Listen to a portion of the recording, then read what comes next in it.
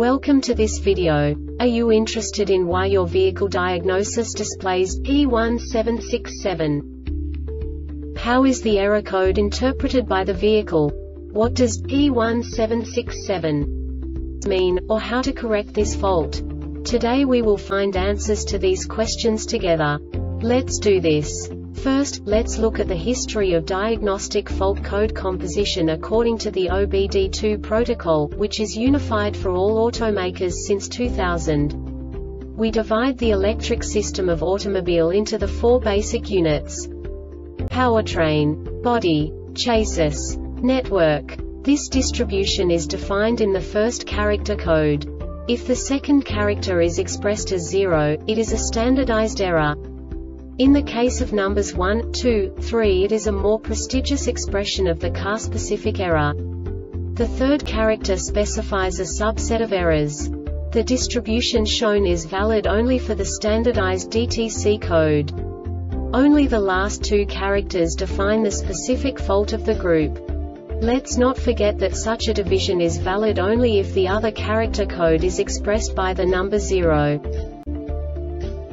Our website airbagreset.sk produces useful videos for you. You do not have to go through the OBD2 protocol anymore to know how to troubleshoot any car breakdown. You will find all the diagnostic codes that can be diagnosed in a Lincoln vehicles. Also many other useful things. The following demonstration will help you look into the world of software for car control units. You unbelievably can move the video a bit further. The error code is split into two bytes consisting of 16 bits. One bit is the basic unit that each computer works with. The bit has two logical states. 0, low level, 1, high level. By combining the first two bits, the basic character of the error code is expressed. The next two bits again determine the second character.